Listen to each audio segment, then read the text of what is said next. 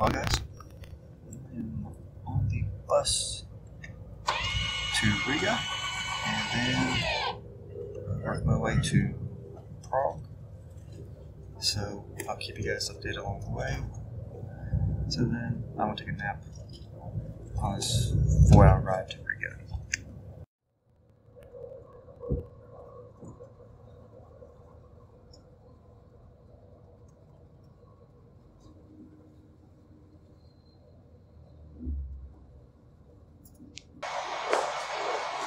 Hey guys, how's it going? It's uh, a little bit of an update here. I'm got some sleep in on that four-hour ride from Tartu to Riga.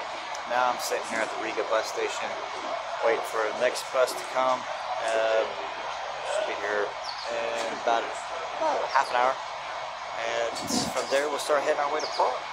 And once we get to Prague, then I'll either take the train or bus I still got to figure that out to Brno. But yeah, first stop done. All right, guys, it's uh, I don't know what time it is, um, but we're stopped here in Poland. It's been a fairly quick trip. It's gone by a lot faster than you'd think for a 28-hour bus ride, but we still got a little bit more to go.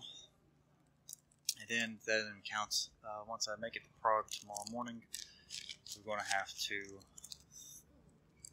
still go like two hours to get to Brno, or Brno, or how you pronounce it.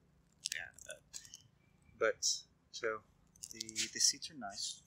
Got a lot of leg space, and I actually got a table. So I'm actually going this last little bit of leg. I'm gonna take my laptop out, get some work done. So catch you guys.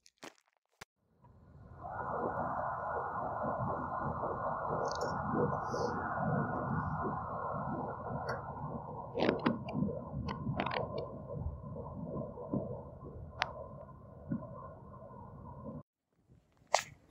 guys, I finally made it here to Brno. It is probably one of the longest trips I've ever taken by vehicle. Um, but yeah, finally made it here. To go check in. We'll finish checking into my dorm. Had a nice sandwich. Things are good. And I hope you guys enjoy this video. If you do, give it a good thumbs up. Write some comments below. Talk to you.